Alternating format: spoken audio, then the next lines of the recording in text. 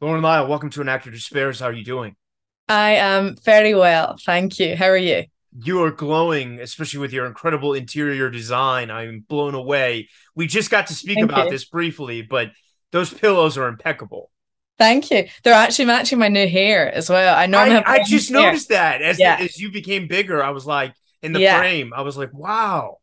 I am. Um, I've well, I've had to dye ginger for a job, but um, the the pillows are all to do with my like new love for interior design because I bought a place two years ago, height of pandemic. I bought a place in the moment where we thought we were all okay. We'd like come out of lockdown for a bit. And then I thought it was a good idea to buy something that was a bit of a doer-upper. Um, and then it was, and then I had to do it up, and it was awful. I absolutely hated it. But I do like, but I've got into cushions. I've got into cushions, the design element. And it seems like now the benefits are paying off. I mean, this this podcast aesthetic is gonna take off. Thank you. I know I'm delighted. You you have your own She's a Wreck. Do you do it there? Do a dare or do it here? Yeah, there. Sorry. I thought you meant like do a dare. I was like, that's a great idea, right? No, I should yeah, do uh, something like that there you go. You can take that as well. But you you record it on that couch. on this couch. No, this is my new couch. Actually, this is Oh. a new couch. This is only a couple of months old. But I normally do She's a Wreck. If I'm lucky, I'll get I'll get it in a studio. If a guest is in London at the time, we'll get them in a studio. Or if there's someone I really want that is traveling a lot. I had someone like Self Esteem. We've got a UK artist here called Self Esteem who's absolutely blown up on this side of the world. She was like the busiest person I've ever seen, and she um was just never around. So we did it on Zoom, um, a bit like this. So it's quite nice on a couch, isn't it? It just gets it a bit more comfy. Totally. Yeah. And Yeah. I, I like doing it in person too. So I totally, you know, but Yeah. obviously we got a, a gigantic ocean in between us. So Yeah. thank you for being here and, and your work and Karen Pirie so amazing and, and Outlander and and you've just been crushing the game. And I'm so Thank you. excited to get to talk to you. And it means a lot for you coming on and carving out some of your time. No, I'm delighted. Thanks for having me. So, like, you know, our, our viewers know, we start at the beginning. Where did you grow up? So I was born in Glasgow in Scotland, born and raised there, and I I stayed in the south side of Glasgow, which I love, and did the whole proper upbringing where I would just walk around the corner to school and I drink really young in the park on the swings. And I did all that um in Glasgow. And then when I was 15 my dad got a job out in New Zealand. So me and my mum and my dad we all moved out there um and at the time I have two older brothers. And at the time my brothers they're a bit older. They were at university and they had girlfriends and had been out of home for a while. So I decided, well, we decided as a family that it'd be fine that they would stay and, and I would go. So I, I essentially became a bit of an only child for a bit and went out to New Zealand for what was maybe meant to be a year. Um, and my dad bribed me by saying we'd have a pool and we'd live by the beach. And now no, he didn't know if he could give me any of that. He had no idea. But um, we got out there and we ended up staying for about five five years. Um, and I did high school there, and I turned into like a proper, a right Kiwi, um, and lived by the beach, and got really Wow. into just that whole lifestyle of like being outside all the time. It's a beautiful culture out there, um, a real amalgamation of people, um, and much more laid back. Very like Scotland in terms of friendly. Everyone's very friendly and welcoming as a people, but it's much hotter. The landscape's quite similar, but it's much warmer. Um, and they're very unmaterialistic out there. They sort of things like I don't know if you know the brand Topshop, Yeah, Um, of course. which is huge. It was well, it was huge in the UK. it's it's gone now, right? It's Yeah. just gone, yeah. Um, it never it went out to New Zealand for about a year and never really survived because they just weren't that bothered. And it's just a very cool, very independent brands and um not too materialistic place. Everyone's into surfing and skating and um going to gigs and that was just really suited me. I, I never was very good at the whole in Glasgow you get very dressed up and you go out in town when you're quite young and you really like glam it up to go out. And then I suddenly was growing up To pubs or or just to like, you know, going to to different places with friends. sort of when you're going out, like as you're growing up and you're going through high school, um, and sort of finding yourself, and you'd have things called the unders, which were clubs for if you were under 18, and they'd open the clubs, like they'd open like proper big clubs for 18 year olds, but they'd open them between like 6 p.m. and 10 p.m. And everyone that was too young to go to clubs would go to that and you would party. And we'd all obviously have a drink and yeah, or alcohol and whatever. So we were drinking quite young and then doing all that and then having a bit of a mad time for, sort of around about when I left. And then I left and New Zealand was a wee bit less like that. It was much more house parties and the beach and that sort of thing. Um, so every time I'd come home to Scotland, I'd spend summers coming home to Scotland. Um, it was always really weird because everyone would be getting really dressed up to go out clubbing and wearing high heels and loads of makeup and it just wasn't very me anymore. Um, so that sort of morphed who I was, I think, quite a lot being in New Zealand and that sort of like, I don't know, like cool mentality of what it is to be outside and a bit more laid back and a bit more chilled. Uh, so I was there, and then I after I basically finished high school there, and then decided maybe I'll try and be an actor. Um, so you I, this, not sorry to interrupt. I apologize, but no, no, I, I only interrupt because I just want to. Before you know, when you when you were leaving Scotland, you weren't into acting yet. It had not started. Yes and no. I loved doing it. I was always like playing the silly little funny parts in the plays and things and the musicals, and I liked singing, and I would go singing lessons and whatnot, and acting drama classes for fun. But I never, genuinely, seriously, never really considered it as a career. My dad now tells me that um, he remembers a teacher at school coming to him before we left Scotland, saying, you know, she's really quite into this and she's quite good at it. You should let her if she gets she sort of gets a bite for it, you should let her explore it. Um, and he never told me that sort of until I until I was sort of doing it and properly in the career. Um, but they were always very supportive. There were a few times, sort of when I got out of high school and I was applying, and it was years and years of like maybe four years of living in London where I wasn't getting anywhere. That my mum said, "No, well, Andy," but I didn't have to do it in the end, but I, I didn't know that I wanted to be an actor at all. I kind of loved painting and I loved in New Zealand. I had an I was at quite an arty school in New Zealand and I'd paint loads. I got really into that, almost went to art school um, or studied psychology or something. And then the deal was kind of like, if I'm going to apply for drama schools, I also have to uh, apply for some uni courses. And then I basically got into like a theatre sort of course, I guess. Like, do, I basically got into doing a lot of shows yeah. in London so I finished high school in New Zealand. I sort of auditioned to come and be part of some shows in London. The National uh, Theatre, right? Not yet. No, oh, that okay. was National okay. Theatre yet. That okay. was it was the Edinburgh Fringe. It was to do a lot of stuff. Oh, the Fringe is the best. Yeah. Yeah. So it was to do two shows at the Edinburgh Fringe, and I got the shows. So I came over from New Zealand, moved back to the UK, finished high school, moved back to the UK, and moved straight to London when I was about 19. I think I moved, 18, 19, I moved, and did these shows. And I was like, okay, cool. Well, I'm going to put off drama school for a year and uni for a year, and I'll do these shows. And then I started doing the shows and I loved it. And I was like, suddenly you become, you like enter this world at the fringe, like, and you meet all these actors. And I was in a company of actors, of people that were really ambitious and good and some of them became my best friends and i got this real appetite for it being a, a, an actual potential job and so i sort of just kept going i applied to i well i tried to get an agent I did a drama class called the Actors Class, yeah. um, and I have to shout out to Mary Doherty, who um, was one of the like she ran it. She was the sort of owner of it. She was an actor herself, and she set up this amazing once a week acting class and she managed to have a big showcase and invited loads of agents and people that would come. Um, and I luckily got an agent from it. And wow. then I started auditioning and started working alongside applying for drama schools um, to try and see what would happen. With the caveat that if you got a job, you would just skip drama school, you think, or yeah, the goal was drama school. The goal was oh, like you still wanted to go because I know yeah, in the UK okay. it's such a it's it's exactly. You know, yeah, totally. Yeah. In in the UK, it's such a like be all or end all in some ways. People talk about it being a thing that you should do. Um and I so I always I kept applying and I I then was auditioning and I was doing various things and I wasn't getting into drama school. I was getting really close every the, year. The RADA, LAMDA, yeah. you know, Royal, all of them, all, RADA, LAMDA, yeah. Guildhall, all these yeah. ones. I was getting final rounds, waiting lists, getting told basically you are good enough for some reason we're just not going to let you in and I've been there. often oh, okay. yeah being Scottish as well there is a bit of a thing where you'd notice in a drama school year there'd be like one Scot per year Do you know So I Amy like- Manson? She's a friend. She did this show. Oh no, I don't. Yeah. I know who she is. I don't know who she is. I think. I think I know who she is. She was she in um Beats.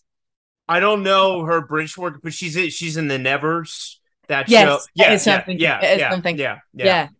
Yeah, So when I was applying for that, apart from the Royal Conservatoire of Scotland, I would notice that very few Scots would get into each year. You'd get maybe like one or two per year. And it was almost like a thing where you were trying to fight against your accent, despite the accent being your sort of unique selling point. So I I remember thinking, oh, if there was another Scottish girl in the room, well, then I was a bit screwed because we'd be up against each other because they'd probably only take one of us, despite the fact they would take loads of English guys, no matter where they were from. Could you So- do British RP at that point? Yeah. Oh yeah, Oh, yeah, yeah. yeah. Could do could do the accents. They just they're so about authenticity sometimes and and about your own voice and you're working so much in your own voice. So the year there there came around a year which would have been 2014 and I've been I've been auditioning and applying and applying for for drama schools, not getting in, getting really far, quite heartbreaking. Like really takes you through the ringer for about four or five, almost almost five years trying to get in. Four years, I think. How did you stay sane, if you don't mind me asking, during that time? Because I, I went through the same thing, but this is about you. Like, tell me, how did you boo yourself? Um, I had really good friends that were also doing the same thing. So we were all quite supportive of each other. We would do we would all be auditioning at the same time and then we'd be sitting around going, I bet you by this time next year one of us will be at drama school. And it was this pinnacle, getting into drama school was this Yeah. pinnacle thing. Um I'd work, I mean honestly, I wasn't sane half the time. I'd be working like six jobs, doing loads of different things. I'd be trying to do as many short films and various bits and bobs and acting classes here and there. And then you're auditioning as well. I had this agent, so I was auditioning, um, albeit for various different things. And I got finally, uh, I got into basically it all came around. 2014 happened, and I auditioned for um, a massive theatre production called The Crucible at the Old Vic Theatre in the West the End. And- best, yeah. yeah. So I had, it was my, I think it was my, I'd just got this agent through this acting class. So I've been doing this acting class, trying to do drama school at the same time. All And- four years of, of that time, you were in that class, or Yeah, I've been doing that class because you kind of worked up and then in your final sort of, I think I've been doing that class for maybe two years. I think it maybe been two years because prior to that, I'd been auditioning for schools. And then that class i'd maybe done for two years. And the final class that you do, you get the showcase with it. I then got this agent. That was really exciting. Finally, I've got an agent. Right. If I'm not doing, if I'm not getting into drama school for the last couple of years, at least I've got an agent now. That's fab. yeah, And then the first audition I did with this agent was The Crucible at the Old Vic for like Wow. the smallest part in the whole play. But I was like 22, 21. No, I was, no, I was 20. I was 20. I was only 20 at the time. So I auditioned for this play, smallest part in the whole play, but they wanted people that could have movement experience. And I used to compete as a gymnast. So I went into the casting director and she kind of, we read the pieces and we I read the whole of the Crucible before I went in and did the whole thing. And then she went, um, now Yaël Farber, who's a really prolific director, she really wants girls that can move. Do you have experience? And I was like, yeah, yeah, I did gymnastics for 10 years. And she was like, oh, well, like, what could you do? And I was like, well, I could walk on my hands for you, or I could, you know, I could do some flips here or whatever. And she was like, oh, okay, well, c- can you show me? I was like, yeah, okay, I'll walk on my hands for you. So I walked on my hands for her, and she was like, oh my God, you have to meet Yaël. And I was like, okay, great. yeah. So then I met Yaël, and she had to do we had to do lots of convulsing, and like the girls in the crucible were all meant to be possessed at one point. So Right. the whole thing was sort of that. Met Yaël, did the whole thing uh the week after, and then days later, I think maybe like a week or days later, got the call in my tiny, shitty little apartment in East London with my friend, where like we had like a little strip for a living room. It was terrible. And I had my flatmate there, and she was one of my best friends, and we'd done some acting stuff together and got this call saying, You have got the job in the crucible. And I like pulled my top off and like flipped out. "Wow." and she told me it was like six hundred pounds a week was more money than I'd ever even thought I would get to make. And I was like, oh my god, oh my god, I'm actually going to get paid to do the thing that I want to do. And she said, you got the this little part that's your own part, and you're also going to understudy the lead Abigail, the lead Elizabeth, and one of the other quite big girls, Mercy. And I was like, oh my God. And they weren't going to pay you extra for that? They pay you like 50 pounds extra. What? In, in the US, it's like those people make 8,000 a week. Oh, no way. yeah. No way. Seriously. if you're a swing, you make so much money because you got to know so many roles. Yeah. I had to learn the whole fucking play. I had to oh learn my like God. four act play and I had to learn the two biggest female parts in it. I know, I know the play part. well. I can't believe. I'm, yeah, yeah, I'm, yeah. I'm impressed. Wow, that's Arthur Miller's tough, man. That is that is Yeah. hard to do. Yeah, and so and I hadn't trained really, so I'd done a lot of stuff with this acting class, but I was pretty like I was just like instinctual and things. I thought I was doing, um, and we all had to sort of do a different accent. We had to do a Northern English accent. Um, so anyway, did the did started doing the play and like had the most unbelievable experience. It was very intense. Um, it was sort of six months from start to from rehearsal to the end of the run. Um, and it was mad. We we really it really went to town. Twenty. I was in a cast of like twenty four of the most unbelievable, most experienced West End actors. Half of them telling us stories about their time with Maggie and um and um like Gandalf and all these things. They're going, oh Ian McKellen, and they're like, oh yes, me and Ian, we travelled the world at the Royal Shakespeare Company, and I was just and I, I was in absolute heaven with this whole thing. And then as I was doing the play, I had been auditioning for drama schools and I got a call at the end of kind of towards the end of the run saying I'd gotten into a school and my heart dropped. And it was a school that I wasn't necessarily wanting to get into. And I thought, and I knew it was because someone I'd been on a waiting list and someone must have not accepted the place. And so I got their place. So my heart dropped when I got in. And I was like, oh my God, I don't want to go to drama school now. Like, Yeah, I wanna, you've been I'm working. I want to work.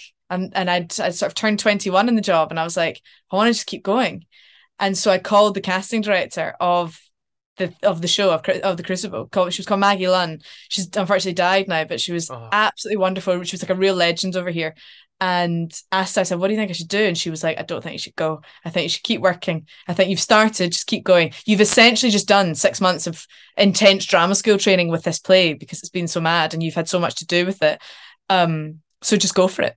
Yeah. So I just kept so I just kept going. And then then I'm kind of got a couple of cool little TV gigs here and there and was sort of going for it. But I was still quite young and I thought I kind of still want to muck around a little bit and like find out what I'm doing and it's stressful like going pursuing acting it's you've you kind of have to live and breathe it and dedicate your whole life to like, running after it and driving after it and being available to do it and I was working so many jobs to support it and so I heard about this National Youth Theatre rep company and I was a member of the National Youth Theatre company so I kind of managed to somehow get an audition for the rep company.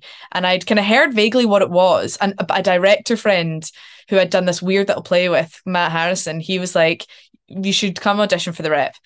So I knew it was like a year long nine month program. Yeah. and it was like 16 of the best young actors get it and it was the sort of thing Ian McKellen would do when right. it was you had such an everyone was in rep yeah, Yeah. Bef- sort of before drama schools were such a thing and you would do three shows in rep sort of rotating them and it was free you didn't pay for it um and it was like very Still, it still is, right? still It's is like yeah, yeah, oh, yeah. National Theater Live presents Hamlet, or you know, Yeah. right? Yeah, Yeah. okay, yeah, yeah Yeah. so it's still free and you basically do you do four rounds of auditions like you would drama school uh, like monologues galore.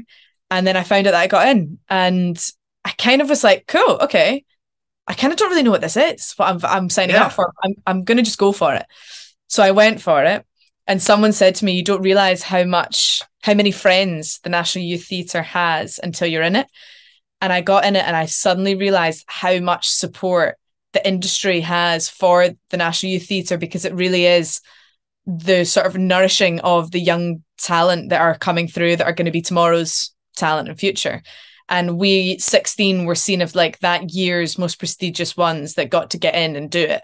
Um, and it's sort of nine months where you basically just train with like all of the best industry professionals over here. So you train with workshop, they come in every week, like the Royal Shakespeare Company, the BBC, um, casting directors from Yeah. absolutely everywhere.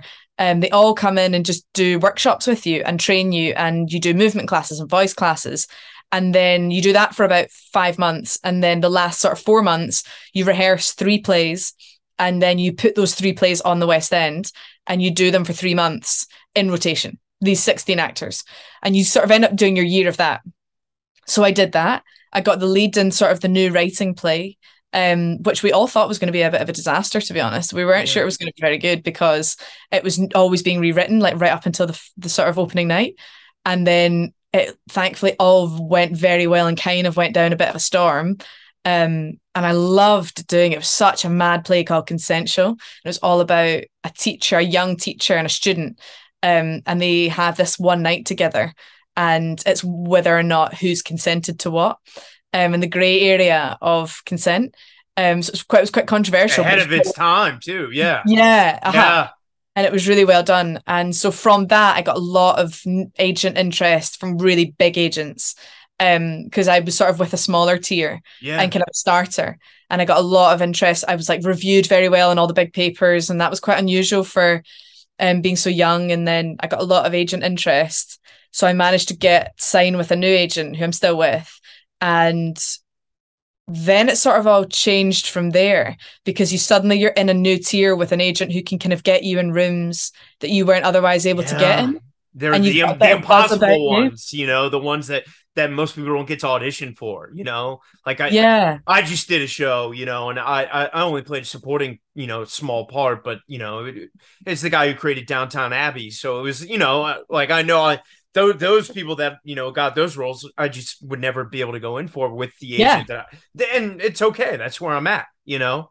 But it's like you. But it's it's hard because I remember saying I remember sitting in the office with them before signing, and I was saying it's really tough because you're told as an actor you need to have your ear to the ground, you need to have your nose to the grindstone, your ear to the ground, and hear what's going on and really keep on it.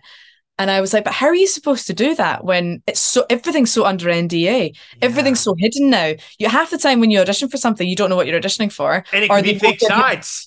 yeah, you won't yeah. get sides, you won't get a full script. You're kind of going, what is this character that you need me to somehow come up with?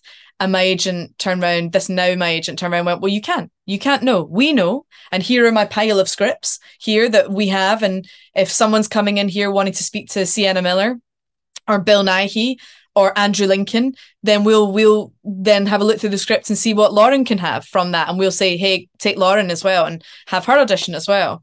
And I was like, oh right, Amazing. so you kind of have leverage because you've got big people and you've got Damian Lewis. Yeah, if, Damian, if they want Damian Lewis, they've also got to look at Little Lauren, who's not done loads, because that's also who you represent. And I was and they like, want to please them because they want their actors. Yeah.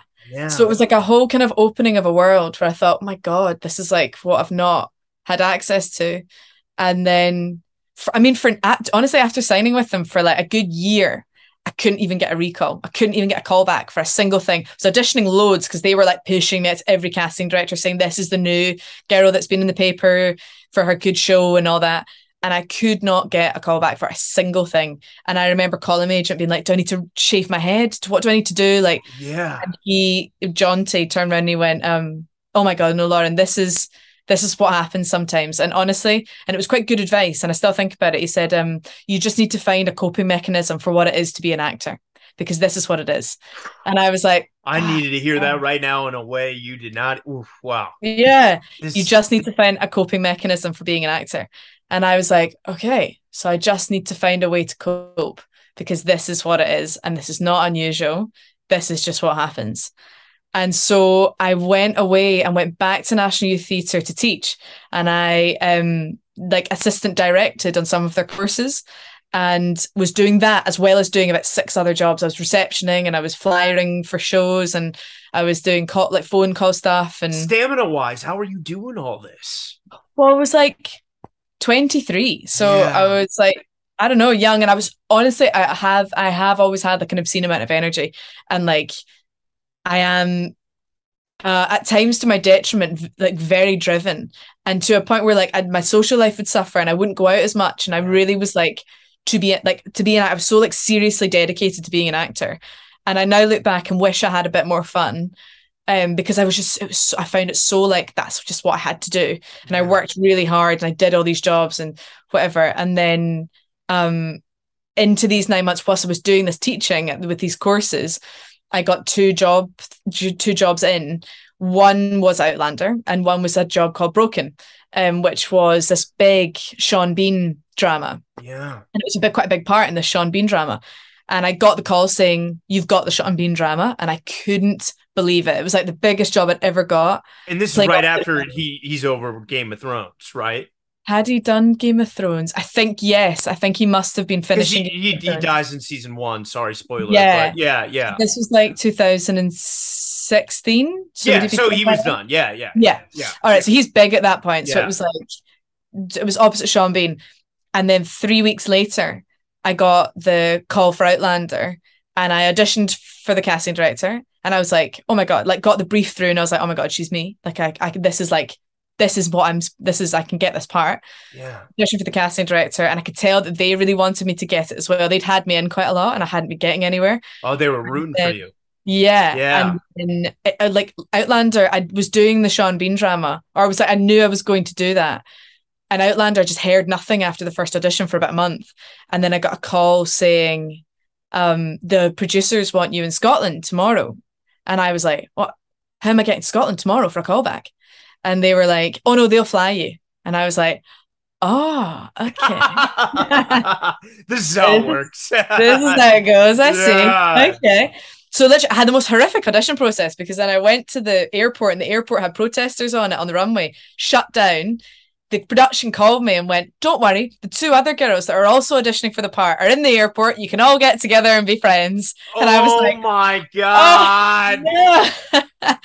so How'd then we all met. Enemy number one and two. I know. they were cool in the end. But we yeah. met and then they were like, we got to the cat we like got on a delayed flight and then we got finally got to Scotland and one of them she knew the driver because she'd done a job with one of the drivers before and I was like oh my god you've worked the other one she just put her headphones in and like didn't speak and I was like clever and then they both went in and, I know. little. I know, and I was like, so smart. That's yeah. why didn't I bring my headphones? Yeah. And then one went in, hugged the casting director, and I was like, oh my God, what am I even doing here? The other one went in and she was given more sides um, when she came back out, and I was like, what are the sides for? I then went in last, fluffed the lines, called like the character that was supposed to be my husband, my uh, my dad's name in the show, um, completely overspoke when I was in there, like r- absolutely ranted and then left, got back on a flight back to London, called my parents, and I was like, I absolutely messed up, like crying in the phone, had a horrible time. And I was like, I can't believe how much I mucked that up. And I worked so hard and I mucked it up. What got up the next morning and was literally walking to my flyering job where I was like going to pick up a bunch of flyers to like hand them out at the end of another show.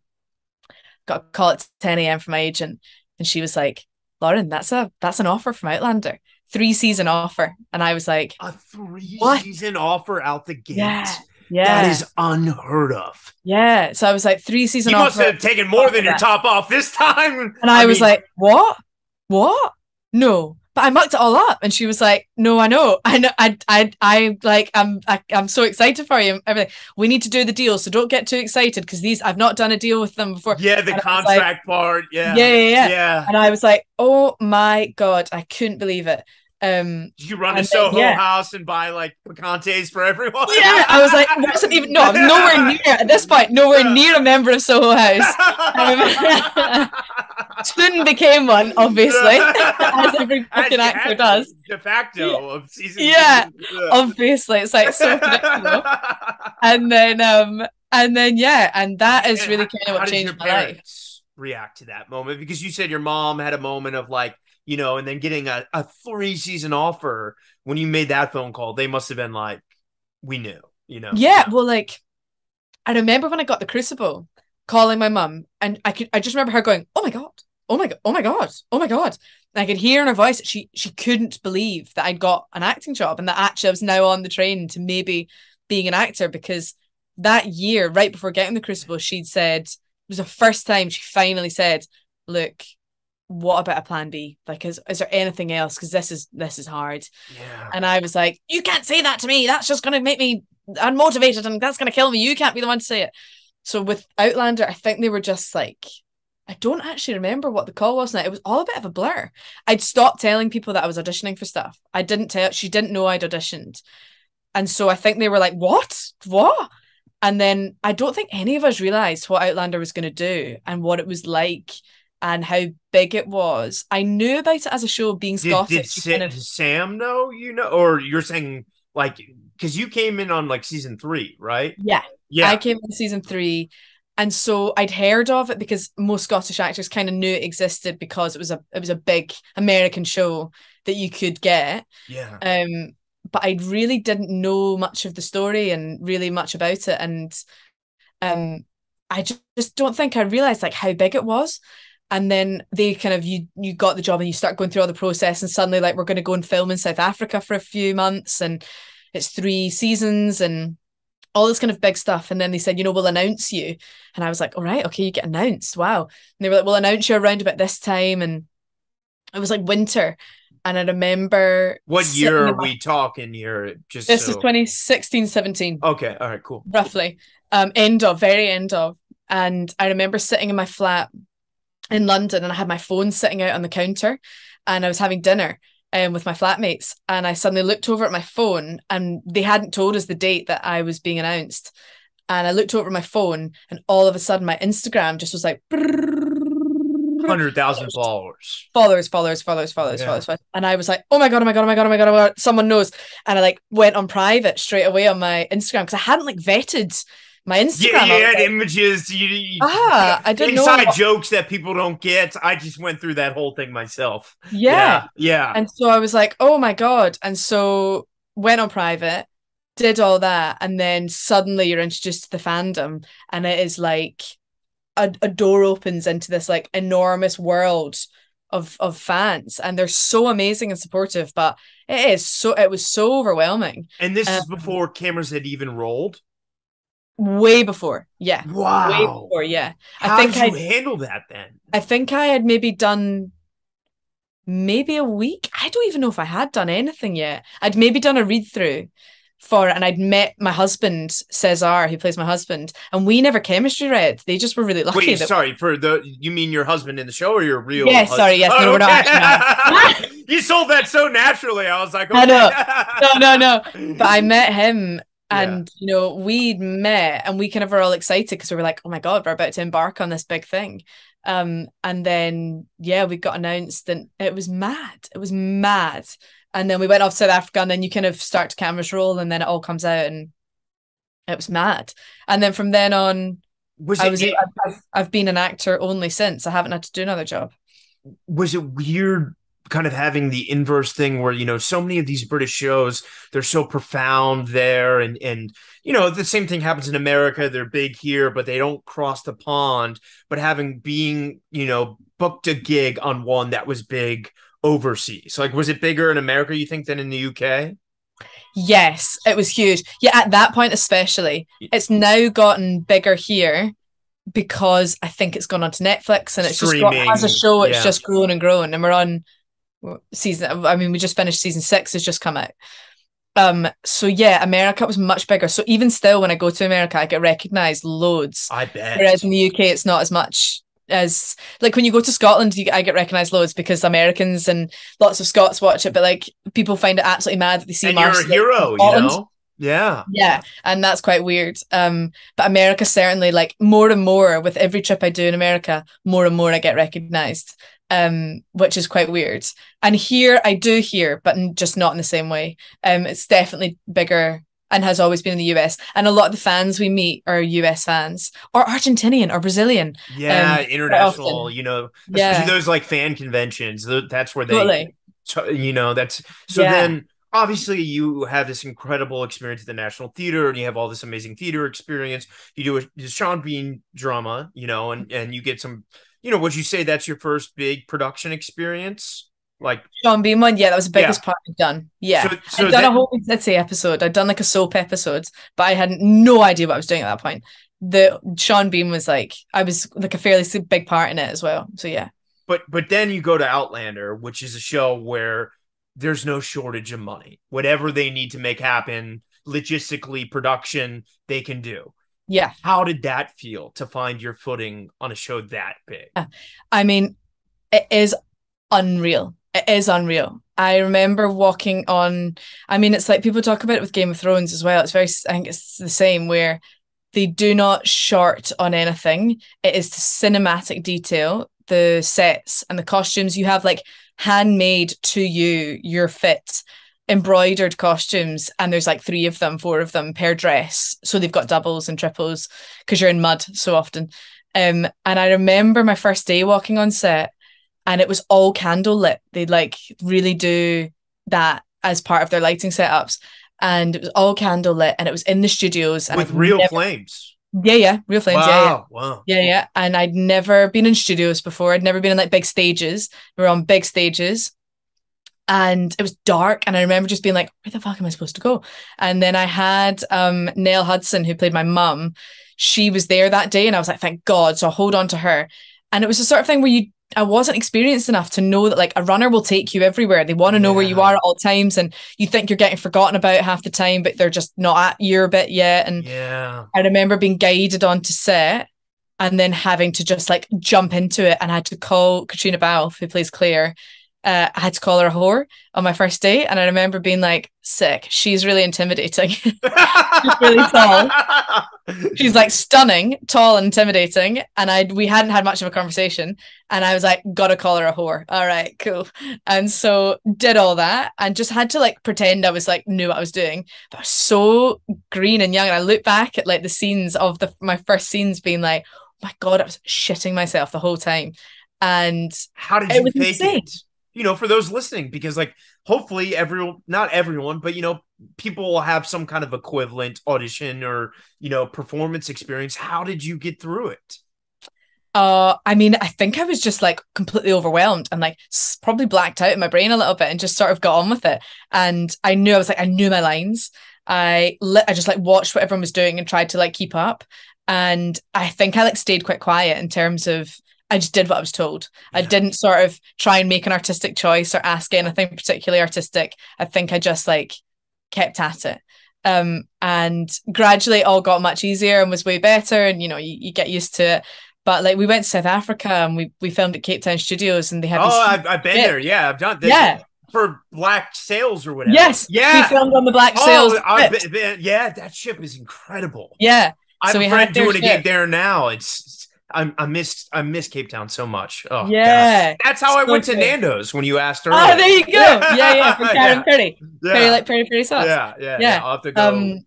So yeah, do, I mean, doing all that, I think Green like thought that we would be um like filming in the water on the boats, and obviously they can't film as an actual ships on boats. So then when we got to the studios, and it was like on land boats that they have a gimbal and like you have to run you have to like throw yourself against it when they shout wave when they're like wave and you got to pretend there's a wave in the water that was all mad so it was like the most unbelievable way to learn how to be on a set to be honest um and there's almost I love that. nothing you can't do after that because it's it's never going to get more awkward than that. You know? Yeah. you're in a corset the whole time and it's hot and then it's cold and yeah it's mad Yeah. So doing that was very special, and then I've been doing that for a while. Um, and I've been really lucky to do other jobs that have been able to slot in between seasons. Um, and, and and got- that I'm glad you. Sorry to interrupt again. I apologize, all, but carry on. I, I that was a question. Is like when you got that three season thing. Was it one of those kind of things where like,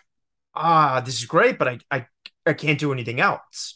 You know? I didn't think about that at all at the time. Okay. I don't. I don't think I was experienced enough to know that that would be difficult, and I don't think I. I really didn't know what I was getting myself in for. I really didn't know we'd shoot for nine months and of the year and that sort of thing. You guys shoot nine. Yeah, yeah, we'd shoot nine months of the year.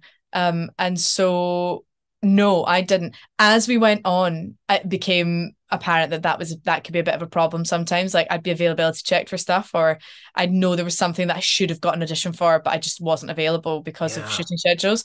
So that became frustrating, I guess, a little. But then you're also like having a great time and so grateful. And my part would get nothing but bigger on Outlander. So I was feeling quite fulfilled, especially by season five. I had an amazing season five um, for Marsali. But then I got lucky and, and dates like I did a film, Tell It to the Bees, in between seasons when I first started, um, which was my first feature film. And then I did things like Vigil, which was a big drama over incredible that's BBC Peacock. Yeah. Yeah, yeah. it's done really well in the States as well. Um, and that was in between seasons. And then um I've just done another film, I've just done two other films, and then Can you can I've you talk done- about them? Or are they? I'm actually not allowed to talk Okay. about it. So annoying. Ah, I'm to yeah. talk about them.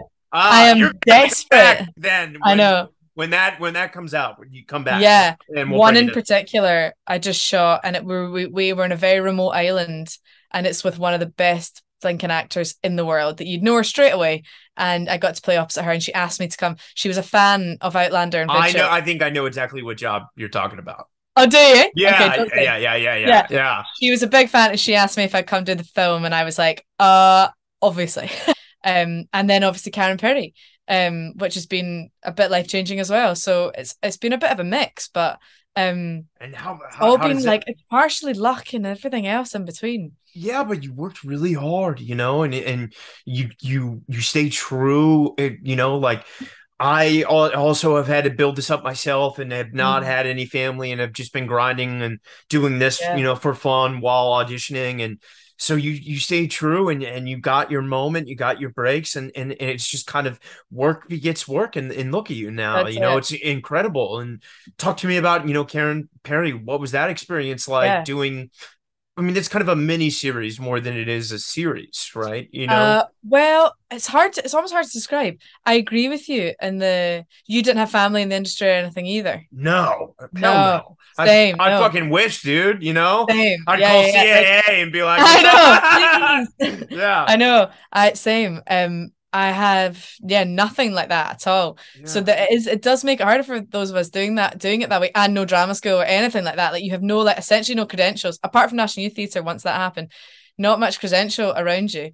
Um, and then so- even when you start earning credits, it's like, well, you know, so and so's got this, and you're like, fuck, totally yeah, and you I'm, like I'm desperate to do some theatre again, and I'm told that if there's like you and then there's someone that went to RADA, they're more likely potentially to go with the RADA person just because they've been to RADA. And I was like, but why? But what? yeah. If, if I'm as good as them, why does it matter? Like I can, I can carry my voice. I've done lots of theatre. You're like, it's like- incredible. Do you know? It's like, oh, come on, guys, let's well, get to the 21st come century. to Broadway. That's the key. yeah, yeah. Well, You I- and I will have to do a play it. together. Yeah, yeah. yeah. Um, but Karen Pirie, yeah. Um, I mean, it's been a bit life changing. So it's been unbelievable. That came through uh, because I'd done Vigil.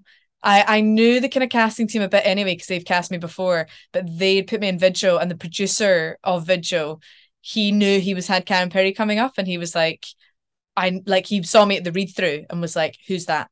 We need to see her for Karen Pirie." And so I got the audition in and went through it all and I thought, oh my God, a detective in your 20s and she's a woman and she's quite funny and she's re- it's really dark. It's really quite a terrifying story and it's really relevant. Oh my God, this just actually doesn't come around. Like people are always like, oh, these roles don't come around much. But I actually couldn't tell you any other detect female detective in the 20s other than Helen Mirren in um Prime Suspect, but way back when. Um, which is not a bad thing to be compared to but that you really don't get it. Um and so it came through and it's yeah it's three essentially shot as three films. We were the scripts were called film one film two and film three and it's three two hour episodes. Yeah, because each thing so it's like so it's quite a a cool concept especially for how we like take in content now because you never just watch one episode of a series now like if you've got a six episode series you always end up binging too totally. so you really get like a real rich world with one episode full of like twists and turns and drama and really get into yeah, the I, I relationship. watched it. So You're amazing in it, and Thank you. so great. Did did you shoot those like features then? I mean, kind of, yeah. We it was so intense. I was in every day. I had a whole case, like the case up on How my wall. long? Because that's so much. It was like well, it was 12 weeks we shot for. Um you guys got so- that done in twelve weeks. yeah, which yeah, but three months, yeah, three almost four months, but three, yeah, roughly. that's incredible. Yeah. Um I mean, to be honest, Emer Kenny, who'd been writing it, has been writing it. She'd been writing for three years before, and then they post production for a while as well. They post production for about a year. It was meant to come out earlier, and then ITV, the own it, ITV Studios that own it over here, they loved it. They saw it and they were like, oh my God, it's so much cooler and fresher than we realized. Um, and so they gave it a much better slot. And that's like the September over here, like the autumn kind of hunkering down slot. Um, and then BritBox got it in America, which is like where Line of Duty was, which has done really well in the States. And um, yeah, it's gone very well. It's this amazing story for anyone watching that's not Yeah. doesn't know about it. Um, it's all about a young detective. Basically, it's half set in the nineties. This like cool Two era. timelines, right? Yeah. yeah. It's like the Trainspotting kind of time era of the nineties, and then now. And in the nineties, there's this big party that happens one night with a bunch of students, and um, in St Andrews in Scotland, and this is it's like where William and Kate, the royals, went to uni. Ah, and um they all had this big party and this young woman is murdered that night and no one knows what happened and these three boys become suspects and then they just never solve the case. It just all sort of teeters out and they never solve it. It's cut to 2021 22 and a true crime podcast starts to investigate the case a bit like serial and the police get a lot of heat as to why they've just never they've just kind of let it go especially with the current sort of violence against women and how much we've ignored it. Um and they go ah okay it would look quite good if we just put a woman on it. Do we have one of them? And so they find young Karen Pirie who's not done a murder case before. Um and it's a bit of a double-edged sword because they know it's really hard to solve because they've not got much evidence so they kind of shove her on it for optics because they think it'll look good. Yeah. and then she's got to go and try and solve it and that's me. So off And we you- went. And away from the lover, you know. and away from the yeah exactly Yeah. exactly. So it was a real different character. She's very odd. She sort of marches around. She wears sweater vests and bum bags and doc martens. She's not in a corset. She's not got looking pretty. There's no makeup. It's like a real sort of real woman um that's flawed and funny and odd and sarcastic and she re- we really acknowledge like the conservative nature of the police and how weird and she finds it really odd and kind of like ridiculous as to why it's like that and you'd all just the bureaucratic bullshit. Yeah. yeah.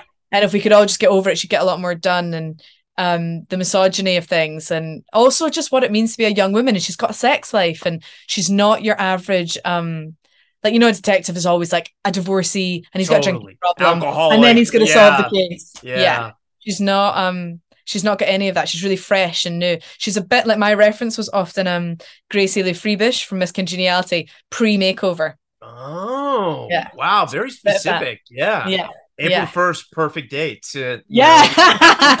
Exactly. That how uh, was that such a fun time filming? It was ridiculous. Yeah, we had it was a the basic they they they were able to cast whoever they wanted. There was no one cast because they were so famous that they had to be the name. I was probably the most famous person in it, and in that not even that famous. And so it's like weird that that even gets to happen nowadays. That you just get everyone that you want, and then it's all quite exciting, and everyone's really happy to be there. So it makes for a very happy set. Then on top of it, it was my first time really leading something. And on top of that, you're not only leading it, you are the name of the show. So there's a difference almost there between just leading number a show. one on the call sheet. yeah, and then you Yeah. are the name of the show. So I kind of felt like I was hosting a party the whole time, and I just wanted everyone to like, have a good time. Um, so you really feel very responsible for everyone. Um, I felt like I had, I really developed a great relationship with the camera department, and we had a language where I, by this point, was much more technically understood. I understand what it is to be on a set and lighting more, and um, even things like lighting I was learning about from our DP Ryan. And we got to a point where I'd be like, the light's there, right? And there'd be another actor maybe that come in was in my light in the wrong way, and he'd like say something like mouth something really random, and I'd be Oh, like, "Oh, you guys "Yeah, had the it." shorthand. You knew. yeah, and we started Yeah. to plan, which is Uh, really cool.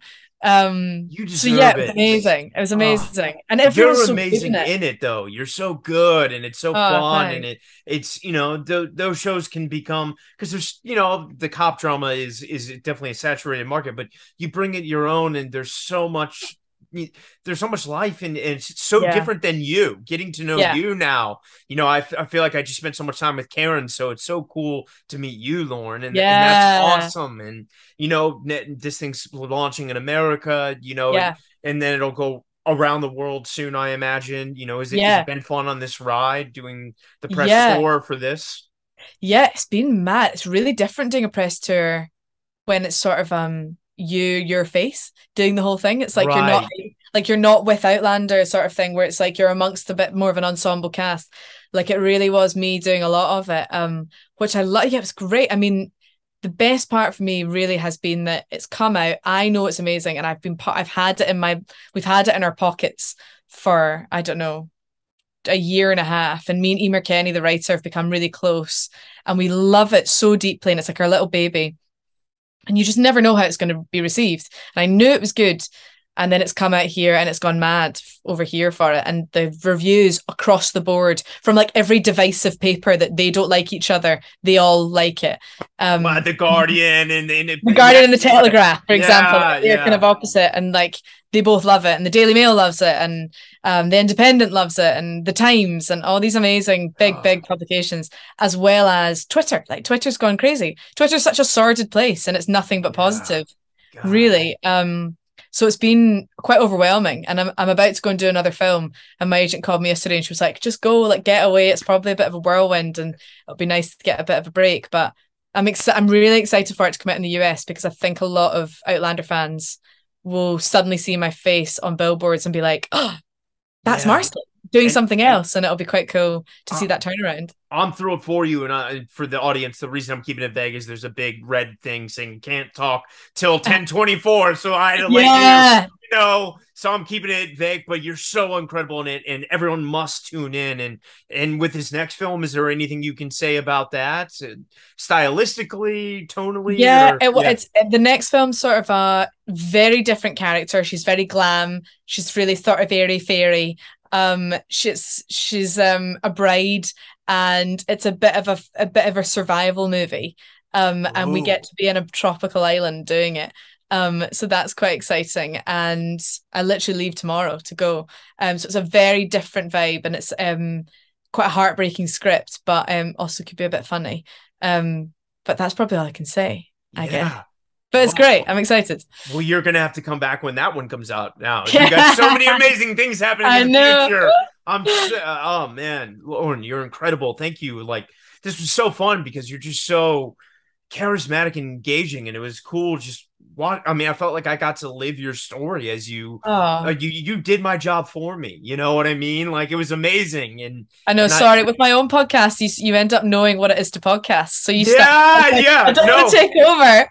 No, I'm glad you did it. May I mean, like I I'm so I'm I'm so thankful that you shared so much, and I have so much gratitude for the work that you're doing. And, and I'm curious, you know, for for those listening that really identify with the handing out flyers and not having yeah. family in the business and struggling and maybe having mom call them and it's pandemic yeah. is coming back and it's time to get another thing because acting isn't cute now and inflation yeah. and, and Russia like yeah any, words of wisdom you might have you know i think the thing the, what you know how i was saying earlier like i worked really hard the whole time and i took it so seriously that was good, but it did make me quite unhappy sometimes. And I don't know that I needed to go that far.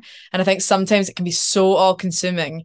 And now I value so much more what it means to take a break when you can and have downtime for things that you enjoy and go to the pub and like go to the go to a bar and see your friends and go on the dates even if it's like a stupid date if you don't have time to date go, go on a couple and just enjoy yourself yeah. and have fun and go on holiday, book the holiday, because more often than not, you'll get a job with the holiday thing, or you'll just get a nice holiday. So yeah. just do it and go. Um, and you can tape now from anywhere. So just I really now value that you you need to enjoy yourself. And my work has dramatically improved and my life has dramatically improved now that I take conscientious breaks or meditate even a little bit but I really think my mum's thing is honestly, it's so simple, but she really just always says, just enjoy yourself, just enjoy your life. And there's so much that goes on, and life is so long that you just don't want to spend it like grinding the whole Being time. Miserable. Yeah. Every and day. even though you do yeah. have to, and there's not always opportunity, and it's not as easy as that to just like go and take a break. But wherever you can, like if it just means having a meditate or having a cup of tea and watching your favorite show for an hour, like, go and just do that. Someone once said to me, or I read it somewhere where it was like, really hard work doesn't have to mean that you like sit writing in a room and like you get you hate every minute of it. Like go and get inspired doing things that actually inspire you. If that's like go and listen to an album that you love yeah. and that gets you feeling good go out and like see a show. Yeah, see a show or go on a big night out and like get drunk and enjoy yourself and have a big dance because that might actually make you feel quite good and that's okay and it doesn't have to be that you're like grinding on scripts totally. to be inspired that doesn't always really work for me It doesn't have to be the Hemingway F. Scott Fitzgerald suffering, No. suffering. All no the time. yeah. and if it- anything it's for me not that and some people that maybe works but yeah Well, I don't think it leads to any kind of healthy outcome, whether you know you do make it or not. You you end up very bitter, and and that doesn't work well in this business. And people No. se- sense that. And you know, Yeah. obviously, you had just touched on it because you're such a great you know guest, and and also you do interviews. Can we talk about quickly your podcast? She's a wreck. Yes. So I have a podcast, She's a Wreck, and it is all about basically when I was sort of in my 20s, I suddenly realized all my artistic taste came from men. And like I really didn't know my female influences, my women, and basically anyone that doesn't identify as a man. And I thought, I love a recommendation. I'm always asking people what to watch and what to listen to. So why don't I set a thing up where I get to talk to really cool people about the albums, the films, and the books by women, or it's kind of developed now into just being about from people that aren't men, um, that have influenced them in their lives. So I speak to like people like Caitríona Balfe from Outlanders One, but you know, big musicians and quite famous. I Olivia just Cooke, Olivia Cooke. Thrones, you yeah, know. House of Dragons star Olivia Cooke. She came on very recently. That was cool because it was right before everything kicked off. So you, we hear a Oh. lot about what it's like for her right before it all goes. Kind of all the way along to from people like that to I've got a United Nations bomb disposal expert who Oh. disposes remnants of war and she talks about I kind of wasn't sure. I was like, would people want to hear from her about her music taste? Oh And- yeah. yeah, and so you hear about the song that she gets recommended when she, the minute she leaves a war zone, and like that night she gets out, and she another woman recommends a song, and they sit and have a red wine and glass of red wine and listen to this song, having just evacuated, and this amazing story. Um, so it's just a great excuse that I get to talk to very cool people about their lives, and um, I don't know, you have people, I have casting directors come on again when you maybe got guests on this that Yeah, very similar shows here that I do the same Yeah. thing. Yeah. Yeah, or like guests where they want to know what actually goes on, really, and and sort of maybe put a more human meaning behind our industry. That those are some good ones. Some of the casting directors. So, um, yeah, go listen. I'd love you to. I'd love anyone yeah, to. I absolutely will. She's a wreck. Check it out. You got two anonymous movies coming out that we can't talk about that you're going to have to go back. About to shoot another anonymous movie. And Yeah. then Karen Pirie, you're Yeah. crushing the game with She's a Wreck as well. So I don't know anyone slaying the way that you are. You should Aw. be House of Dragons next season. Maybe you might be. I'll ask. And, I'll uh, ask Liv. I'll call HBO. And Yeah. uh, I'm so proud of you. You're doing amazing. Thank you. work. Thank you for Thank your you. energy and and your positivity and and sharing. And I needed it. And you know, I, I'm still kind of in that. You know, not having fun, focusing, grinding. So this was such Yeah. a pleasure.